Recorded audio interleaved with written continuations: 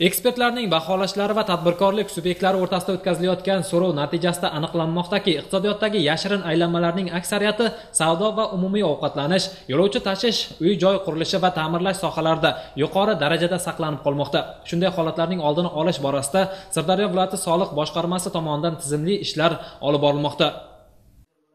Mamlakatimizda yashirin iqtisodiyot darajasini pasaytirish tadbirkorlik faoliyatini yuritish shu jumladan tartibga solish va ma'muriy yukni kamaytirish hisobiga teng raqobat sharoitlarini yaratish soliq qonunchiligi talablariga rioya qilish tartib tamoyillarini avtomatlashtirish va uning tartibini soddalashtirish maqsadida o'zbekiston respublikasi prezidentining yashirin iqtisodiyotni qisqartirish va soliq organlari faoliyati samaradorligini oshirish bo'yicha tashkiliy chora tadbirlar to'g'risidagi farmoni qabul qilindi. Sirdaryo viloyati davlat soliq boshqarmasida o'tkazilgan seminarda ham shu haqda so'z yuritildi. Mazkur farmonga asosan tadbirkorlik subyektlariga bir qator e, yengilliklar berilgan.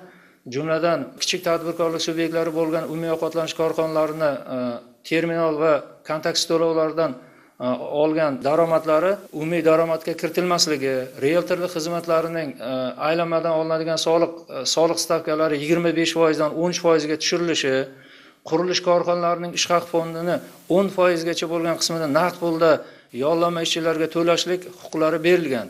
Shuningdek farmonga ko'ra sayyor soliq tekshiruvida davlat soliq xizmati organlari tomonidan o'zbekiston respublikasi prezidenti huzuridagi tadbirkorlik subyektlarining huquqlari va qonuniy manfaatlarini himoya qilish bo'yicha vakilni xabardor qilgan holda amalga oshiriladi. Farmonga asosan davlat soliq qo'mitasi tarkibida soliq nazorati departamenti tashkil etilishi ushbu departamentning asosiy vazifasi etib yuridik va jismoniy shaxslar tomonidan soliq qonunchiligiga rioya etilishini nazorat qilish qilish qo'shilgan qiymat solig'i bilan bog'liq firibgarlik sxemalarini aniqlash va agressiv soliq rejalashtirishga qarshi kurashish belgilangan. Viloyatimizda har bir yoshga bir gektar